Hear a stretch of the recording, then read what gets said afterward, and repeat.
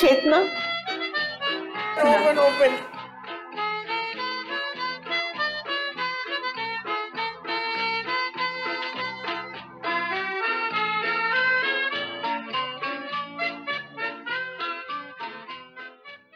You know, when I just step in here, there's so much of positive vibes I get.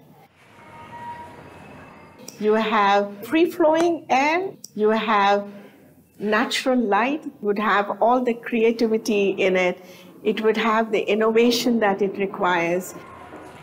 This cafe, it faces the south direction and it faces, it gets the harshest of light in all seasons. So the idea was to put up louvers or panels that could turn to control the amount of light that comes in.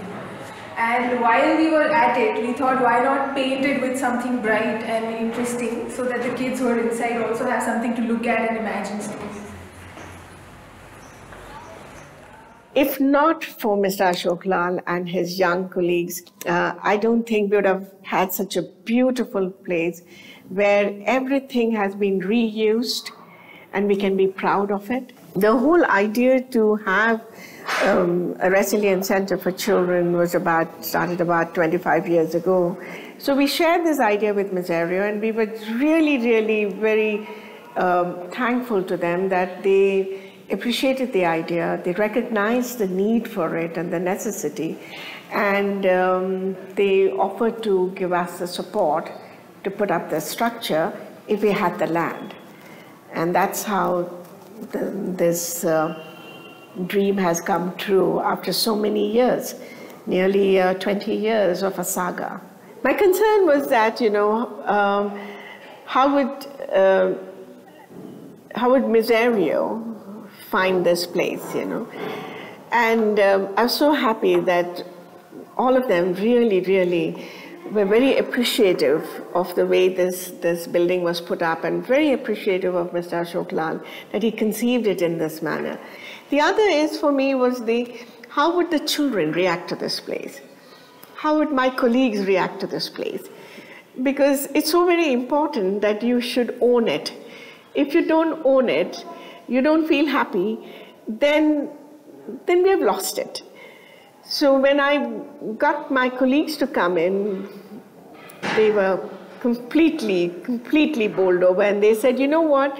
I think uh, you would find that there will be a remarkable change in our effectiveness in working. We would be, our uh, output would be much more here. We would be far more creative.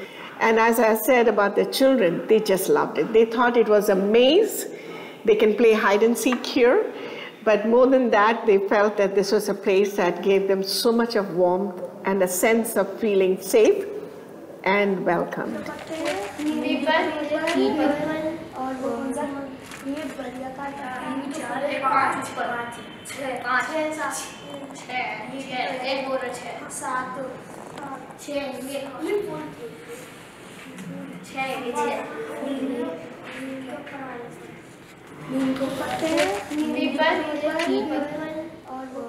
I've been involved in the making of this building since uh, the initial planning stages and today I think I'm, we're quite happy with what we've able to achieve in this. This is called the donors tree. Um, Butterflies wanted to uh, set up a, uh, a tree shaped installation that would incorporate the names of all the donors who have donated to them.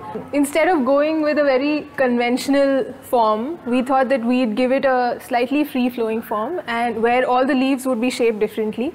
That is also to express the idea that every child is different, he, has, he or she has their own personality. So no two leaves should be the same. So a lot of uh, varied functions have been incorporated into this building. So this building has a very uh, uh, public set of functions. It has very private uh, functions as well, which are residential in nature, and there are some semi-public functions. So for example, it, uh, the building has a cafe, which is open to all kinds of outsiders which this we would call the public function. It has semi-public uh, functions, which are the office spaces, and there is a school that offers culinary training. Uh, so that we would consider semi-public because entry is controlled for these uh, spaces and apart from this it has the rest of the building is all private in nature because it's all residential uh, for young boys who are given a temporary home here.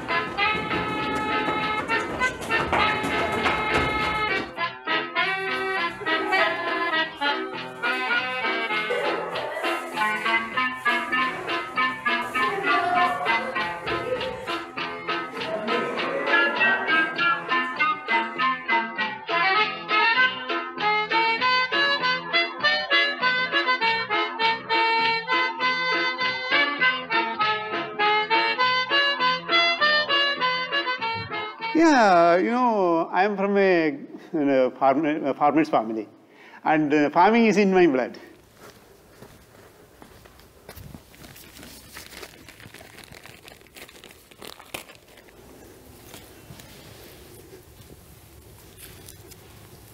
It's a jacaranda tree. Yeah, it's a very beautiful, delicate uh, leaves, and it gives uh, very good uh, purple flowers. No, the children love it. Actually, my uh, main uh, responsibility is in finance and administration, but uh, I love plant, uh, know, gardening. Actually, we want to teach kids, you know, to love. Give them a live example, see how to love plants, how to love nature. That's all. And even uh, our staff also. Once they eat this vegetable uh, pluck out from the garden, they get uh, a curry, they make curry and they eat, you know, they feel happy. See, this is my own effort, you know. That's what we want to teach. Here also, a lot of space.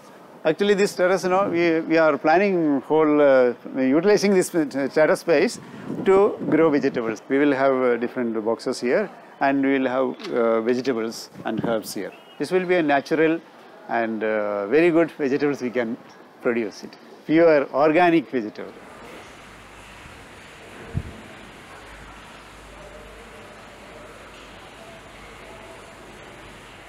As the villages around the cities get more and more dense and all the open spaces get occupied by more and more buildings, and now it's buildings and small lanes, you've lost the ground or you're losing the ground. Well, how do you build in such a place? One of the ways is to think of the rooftop as becoming the new ground. Make use of the roof as much as you can. So on the rooftop, as you might see, we can catch the sun to heat water. There's a solar hot water system. We can catch the sun to make electricity. Almost 50% of the electricity consumed in the entire building can be generated from these solar panels. And then when you have a long, narrow building, it actually is three buildings served by a lane that connects the front to the rear. And as it goes along, it has two courtyards in the middle.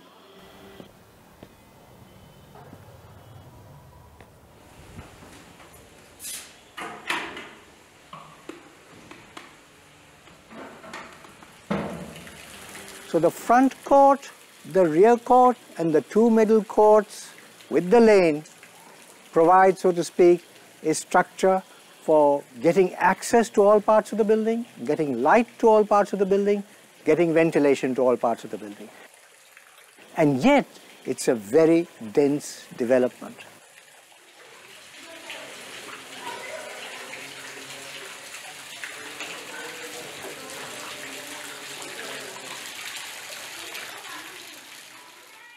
तो देख सकते हैं ये ईट। ये पूरी same है similar उसकी तरह जो नॉर्मल हमारी ब्रिक ब्रिक होती है, जैसे नीचे लगी हुई है, उसकी तरह। तो यही बनाई, इसका भी प्रोसेस होता है मैम कुछ कि मिट्टी को पहले छाना जाता है, फिर उसके अंदर सैंड मिलाई जाती है सीमेंट मिलाया जाता है देन उसको फिर हम चट्टा लगाते हैं उसका, और फिर उसकी क्यूरिंग करते हैं। तो फिर उसको हम इस्तेमाल करते हैं देन तो हमने हाइड्रोलिक मशीन का इस्तेमाल करा, और उससे जो है three thousand five hundred per day की हमने निकालनी चालू करी bricks bubble deck slab Delhi में तो पहली बिल्डिंग है जिसमें बबल डेक का इस्तेमाल हुआ है। और ये बहुत बेस्ट आइडिया था। स्लैब के में हमने जब बॉल्स डाली तो उस बॉल्स को डालने से हमने एक तो कंक्रीट की सेविंग करी और स्ट्रक्चर का वेट हमने लाइट कर दिया।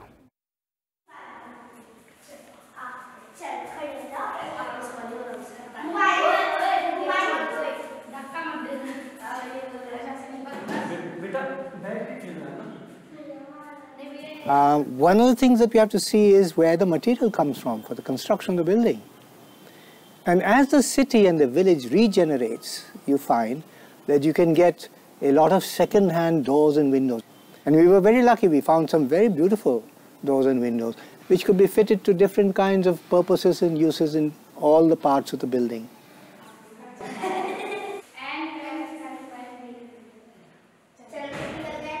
Another great thing was to excavate a basement, make that a usable space.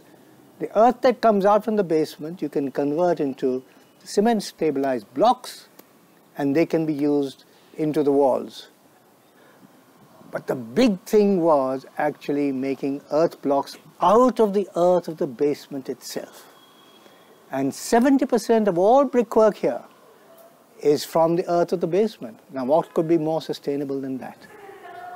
I recall my own childhood living in a big, rambling old house. And it was such fun going up and down, in and out, in so many different ways around the house. So I really thought that a place for children has to be a place that they can explore and they can find their own corners in it, from the ground, from the inside to the courtyards, even to the rooftop. And not just that, you should be able to climb up from the rooftop onto a perch and look out into the horizon.